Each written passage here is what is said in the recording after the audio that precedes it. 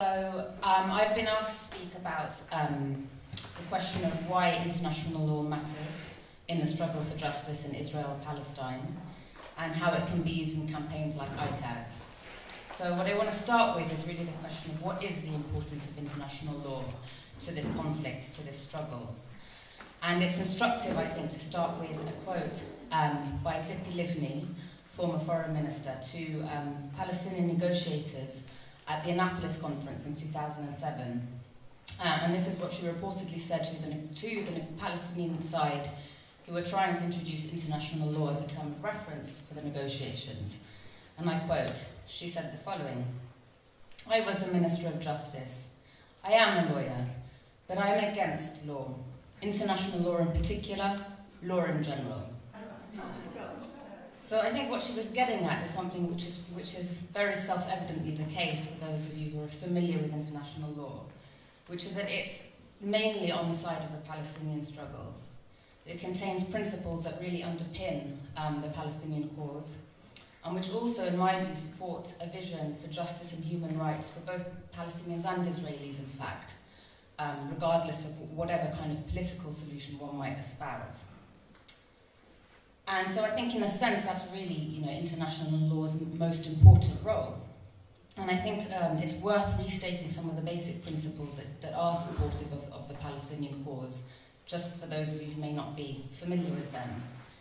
First of all, we know that in, as part of general international law, and this is reflected in UN resolutions, it's reflected in an International Court of Justice opinion in 2004, that Israel has no rightful claim to sovereignty over the West Bank, including importantly East Jerusalem or Gaza, and Palestinians have a right to self-determination in those territories. Now, I think that is actually a very important principle, and, and it's not something that can be overlooked in light of Israel's territorial ambitions, in light of its relentless colonization of these territories. Um, and it also, of course, means that Palestinians have a right to self-determination, a right to this to a state in these territories. That's not something that's conditional on the outcome of a peaceful process. So I think that's very important. Another important set of principles is that, of course, many of the rules of international law, especially international human rights law, apply not only to the West Bank and Gaza, but they apply to regulate Israel's behavior within its own territory and towards other Palestinian constituencies. So notably, the Palestinian refugees have a right to return to their homes in Israel, and the Palestinian citizens of Israel have a right to live in the country in, with full human rights and in full equality. But I've, I've posed the question, why does international law matter? Because I think in a sense the answer is also not entirely straightforward. So whilst it contains all of these principles which are very supportive to the struggle for justice and so on, at the same time we're faced with a situation where, as we know, Israel essentially completely ignores international law. Um, and there is no kind of general um, global enforcement mechanism for, for the law. It depends on Israel either voluntarily submitting to the law or to the political will of states to enforce the law through, for example, the UN Security Council. Um, and because of the lack of that political will, we, we live in a situation in which the law is largely unenforced. And so I think skeptics might well say, and, and many people do approach me and say, in those circumstances, the law doesn't really have a role. It you know, doesn't act as a mechanism, mechanism of redress for those whose rights have been abused. And however much we invoke it, it just doesn't change the situation on the ground. So I think the real question becomes, what is the role of international law given this lack of enforcement? You know, does it still have a role? Does it still matter? Um, and my answer to that question is yes. I think it still can play a very important role and it, and it can and should be harnessed in, in support of our campaigns. And what I want to spend the rest of the time doing is outlining the three main roles that I think there are for, there is for international law in spite of its lack of enforcement. So, the first role, to my mind, is what I call um, the role of law in helping us win the legitimacy war. Now, what I mean by this is that I think, for better or for worse, um, we live in a world today where those in a conflict or those political activists who are seen to be abiding by international law, whose claims are underpinned by the law, tend to occupy the moral high ground in world public opinion. And so being able to articulate one's positions, one's claims in a language of law and human rights um, essentially wins, wins moral legitimacy and wins over public opinion to those positions and to those campaigns. And therefore helps win what Richard Falk, I think it was he who first termed the phrase, calls the legitimacy war. And what he meant by that is the kind of struggle or battle that's, being t- that's taking place in the court of public opinion um, today, in which Palestinians are really um, striving to, and in fact largely succeeding in, persuading the world that they have a just struggle, that their struggle is one that's against occupation, against colonialism, against apartheid. And Israel is kind of pushing back against this by asserting that it's, a, in fact, a democratic state and it's taking steps you know, against terrorism and against militancy. And I think we see many examples of the role of law in this so-called legitimacy war. So, for example, one, one a, striking, a, a striking instance of this for me was the coverage of the Gaza war last summer, if you remember, for those of you who were, who were in this country at the time. It was really um, dominated by questions which were ultimately legal questions. You know, were, were, were Israel's operations proportionate? Were Hamas committing war crimes by sending rockets over? Um, and I think that public opinion about that assault was quite largely influenced, actually, by the perception of who seemed to be the main war criminal in that, in that war and that operation. Um, and I think Israel very much came out the loser in that respect. Um, and we see it in, in other cases as well. So some of you will be familiar with the so-called universal jurisdiction cases. Those are the attempts um, to bring prosecutions against foreign leaders in, in other countries, especially in European countries. Now, none of those cases um, have led yet to a, actually a prosecution, but in a sense, you know, it, ha- it hasn't really mattered because I think those cases have been very important in, in showcasing um, Israeli violations um, and in really advertising the fact that Israel is committing crimes and that its leaders are essentially sort of becoming war criminals on, on the run from the law. And for anyone who's in doubt about the importance of the role of the law in this respect, one only needs to look really at the Israeli reaction to the Palestinian use of the law. And we know in 2010 that uh, the former Deputy Foreign Minister of Israel actually defined as a foreign policy priority for Israel over the next decade combating these legal cases that are brought by Palestinians. And, you know, we see sort of Israel using every sort of lever of pressure um, available to it to thwart any kind of legal initiatives before they begin. So, for example, at the moment, you know, Israel's been running a, a sustained campaign to discredit the Commission of Inquiry report, which we're expecting next month. That's a, a UN report into the Gaza war last summer. They've already forced um, William Schabas, who was the head of the commission, to resign. Um, they, you see in the formidable opposition that Israel has put up to Palestine joining the International Criminal Court. I mean, absolutely extraordinary measures it's gone to, like freezing tax revenue for three months, amounting, as we know, to millions and millions of dollars and the like. So, you know, I think that we can't really understate the importance of the law in this regard. Uh, and what, what, you know, the way I'd sum it up is to say that when you are the weaker party militarily um, in a conflict, you, you're going to have to rely on other mechanisms of pressure, popular pressure, non-violent resistance, and so on. And I see the law as an important tool, really, um, in, in that kind of non-violent sort of resistance.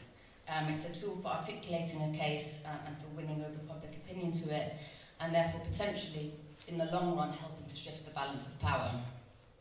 Okay, so I've, I've talked about that a lot, and that is what I'd say is the first role of the law.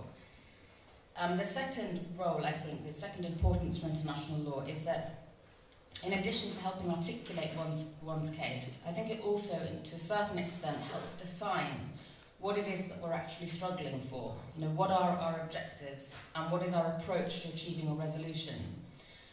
And what I mean by that is, if we pursue a struggle that's underpinned by international law, then what we're in effect doing um, is we are adopting an approach that puts the concept of rights, of universal human rights, at its heart, rather than, for example, approach that puts political outcomes at its heart um, in the sense that the law, especially international human rights law, is really about ensuring that people have rights.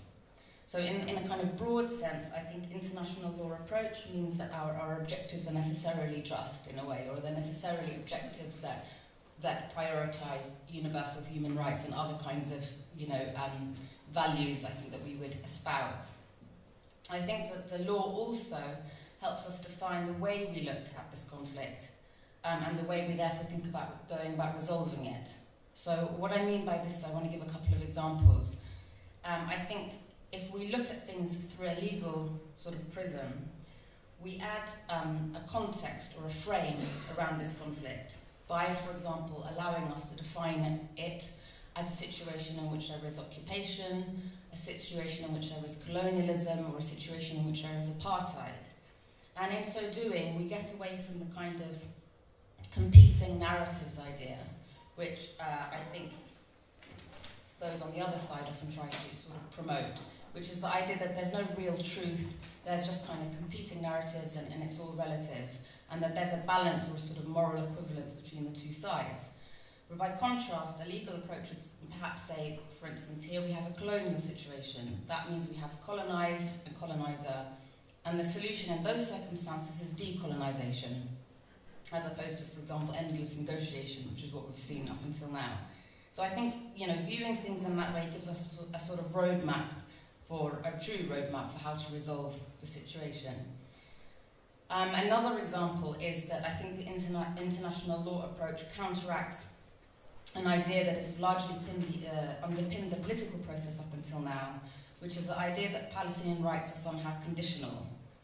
So there's an idea that Palestinians have to sort of prove their peaceworthiness before they allow us to get their lands back, or they have to prove that they're not a security threat to Israel before Israel has to end the occupation. Um, and I think this is unfair because it's provided Israel with cover to continue the occupation kind of indefinitely and therefore for conflict to continue indefinitely. But by contrast, international law would define a regime or a set of practices as, as unlawful, and the solution would then be that those practices or that regime has to be brought to an end without conditions. so you can, you can see the difference there. Um, and finally, I'd say international law is, is really important for true reconciliation in the sense that it allows us to define certain actions and certain policies as unlawful. And that means that we can acknowledge the reality, which is that wrongs have happened, that people's rights have been abused. And I think this is really a prerequisite for achieving a genuine reconciliation, in a sense, in the long run between the peoples. Because I think if you skip that stage, you know, we, we've seen what happened in other, in other conflicts. You don't get a true reconciliation, and, and conflict kind of continues indefinitely. So that's what I'd say about the law, the usefulness of the law, and also helping us define our objectives and our approach to conflict resolution. Um, and if I have time, I'd like to just turn to the third sort of value of the law, which is what I would say is the law's role in providing redress. Now, I've, I've said at the start that international law is largely unenforced and largely unenforceable um, because of power politics in the world today. I would just modify that position slightly by saying that in a sense, if we keep, however, bringing cases and legal challenges, and particularly if we keep doing those um, in domestic jurisdictions, foreign domestic jurisdictions, rather than international jurisdictions, I do think it's only a matter of time before one of these cases kind of sticks, as it were, and we do achieve accountability, at least in a, in a limited sense, with respect to uh, one case or a handful of cases. And I say this because the universal jurisdiction prosecutions that I mentioned although until now unsuccessful, have in some cases got very, very close. So we've had criminal investigations opened, we've had arrest warrants issued, and I think that over time, national prosecutors and courts are really getting to grips with the notion that Israel is a systematic abuser of human rights. And when these cases are brought before them, they are going to be more inclined as time goes along to eventually allow one to go ahead. And I think in that regard, another forum very much worth pursuing and supporting is that of the International Criminal Court. Now, it's riddled with, with difficulties, and I don't have time to go into it, but um, I think at the very least, we have an independent prosecutor who has stated her commitment to dealing with the Palestine situation impartially. Um, and, you know, even if a prosecution doesn't get off the ground, if she were to open an investigation into certain Israeli crimes, particularly into settlement construction, I think that could have some quite interesting legal by sort of side effects, particularly in the way that national jurisdictions who've signed up to the ICC, as many of them have, like all of the EU countries, for example, might then have to deal with corporations or other entities within their own jurisdictions that have dealings with settlements. So, you know, what I'm saying is, you know, cases in national, foreign national jurisdictions and the ICC, I still think it's worth pursuing these avenues, and we may well find that there are op some opportunities for limited legal redress if we continue to pursue them. So that's really one, what I wanted to say about the role of international law. Now, I suspect I don't really have time to go into specific cases and specific avenues that might support our campaigns. Um, but if anyone's interested, I'm happy to come back to that in questions. Um, what I would say really is I'd emphasise this notion of looking at legal challenges that can be brought in national jurisdictions, and there are many, and they're not just criminal cases. We can look at civil cases, we can look at cases against charitable associations that are involved with the occupation and the like. Um, and in conclusion, really, you know, what I'd say is that I think just to keep at the forefront of our minds going forward, um, that it's important to engage with the law as one of the tools, really, in our toolbox for advocacy and for helping to apply pressure on Israel. And that I think we should also ensure that, the, that international law principles um, play a central role in kind of underpinning our objectives and defining the parameters of our, of our campaigns and of our political movements. So thank you very much.